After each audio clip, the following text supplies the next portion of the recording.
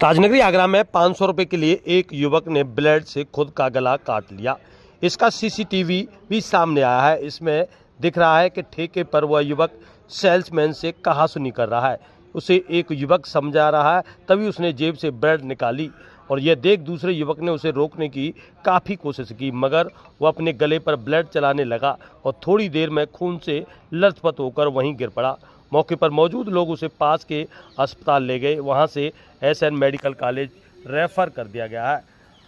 घटना के बाद युवक के घर वालों ने थाने का घेराव कर लिया। उन्होंने जमकर हंगामा भी किया। उन्होंने पुलिस के खिलाफ नारेबाजी भी की। आरोप है कि दरोगा ने हंगामा कर रहे युवक को पीट दिया है और मामला गोबरा नहर का बताया गया है। पाँच सौ रुपये का बकाया शनिवार देर शाम युवक ठेके पर शराब लेने गया था। उसका पाँच सौ रुपये के बकाया था। सेल्समैन ने उसे पैसा मांगा तो वह भड़क गया। उसकी सेल्समैन से कहा सुनी हो गई और ठेके पर ही मौजूद लोगों ने विवाद को शांत कराया। इस बीच युवक ने गले पर ब्लेड चला दी। घर वालों का कहना है कि सेल्स सेल्समैन ने युवक से पैसे छीन लिए हैं। मारपीट भी की गई है। पुलिस से शिकायत की गई तो कोई एक्शन नहीं लिया। पुलिस आरोपियों को बचा रही है। वहीं पुलिस का कहना है कि युवक को मेडिकल कॉलेज में भर्ती कराया गया है। उधारी के पैसे को लेकर विवाद हुआ था परिजनों का आरोप है कि गलत है। जाँच की जा रही है। जो भी दोषी होगा, उसके खिलाफ कार्रवाई की जाएगी। तो जानिए क्या कुछ बोले हैं परिजन और क्या है पूरा मामला। क्या नाम है तुम्हारा?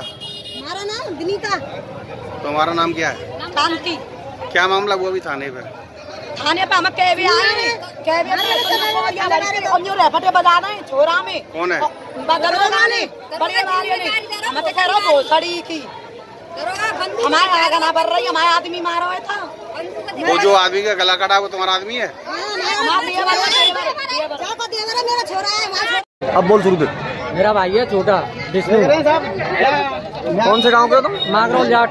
क्या मामला हुआ है? यहाँ पे मामला ये हुआ था सर उसने दिए थे पाँच सौ रुपये। वो इनकार कर रहा था। वो ये कह रहा था कि मैंने दे दिए। उस पे एक उपो है और एक दूसरा की कोई पता नहीं है वो पहचान में नहीं है।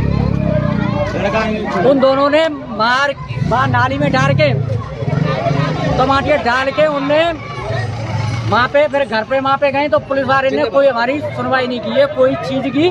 उसकी सपोर्ट में सवरे हमारे मरीज़ की सपोर्ट में। एक पुलिस वाला होमगार्ड बैठ जाता एंबुलेंस में तो कम से कम हमने छाती थे ये सबर रहतो कि गलती का तरफ़ से ही होगी तो वो सुनवाई दोनों लगते होगी। अब क्या थाने पे है? क्या मामला हुआ थाने पे? थाने पे ये मामला हुआ है थाने पे आए थे क्या हाथापाई करी है हमारी लेडीजों किसने दरोगा साहब ने।